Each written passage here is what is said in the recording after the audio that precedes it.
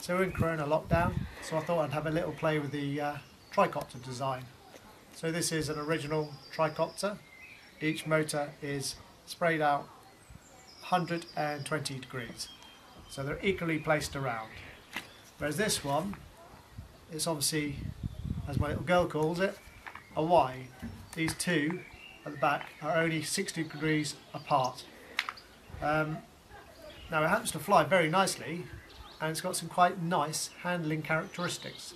The idea maybe at some stage would be to put wings in here and allow this to pivot forward to allow it to push it forward as well. So I'll give this one a little fly so you can see how it handles.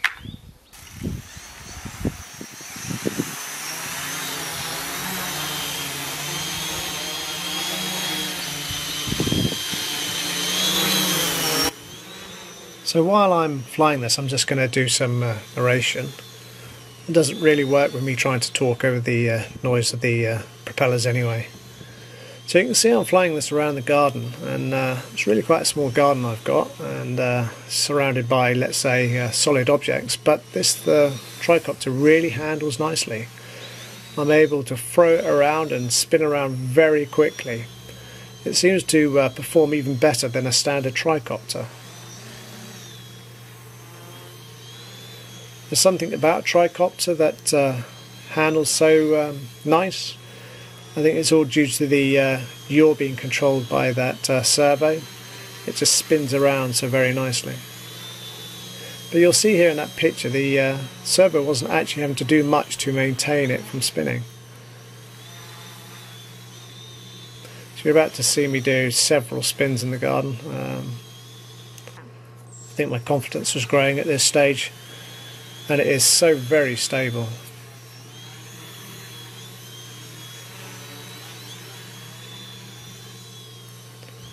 So the idea with this model was to uh, replace the arm with one that tilts the front motor and you'll see that in a minute.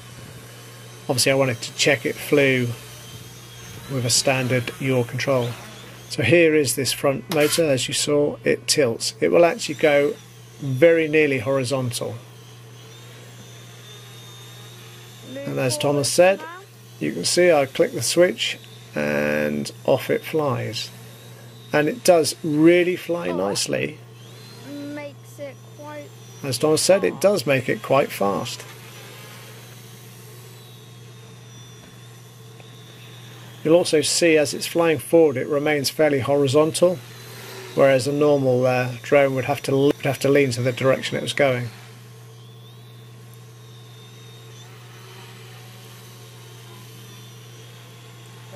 So I should point out I've made no changes to the flight controller um, apart from uh, reversing the rudder due to the uh, servo acting uh, the other way. Um, the flight controller is still handling the model. It doesn't actually know that that front motor is tilted. Um, the front motor is uh, controlled directly from the receiver and not via the flight controller. So I tilt it and the flight controller just keeps doing its job and tries to keep it still.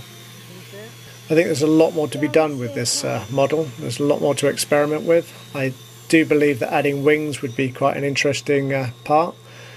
Uh, the intention being um, you tilt the motor forwards and with that forward momentum and wings you might generate a little bit of lift and then the two rear motors would uh, potentially slow down. Anyway, for the final part of this, I've just had a little experiment in my garden. I wanted to see how far I could tilt the front motor while hovering in the garden. And you'll see I actually managed to uh, get it to tilt quite far. Um, I am fighting it. The more I tilt it, the more I have to put the uh, elevator back to pull the model back. But as you can see, I've really got the angle quite far. And whilst I was reviewing this footage, I realised the front motor was absolutely screaming. And I'm wondering if it wasn't very nearly at 100%. Anyway, thank you for watching, and uh, if you've enjoyed this video, please subscribe, and uh, you'll be kept up to date with all my uh, latest inventions. Thank you.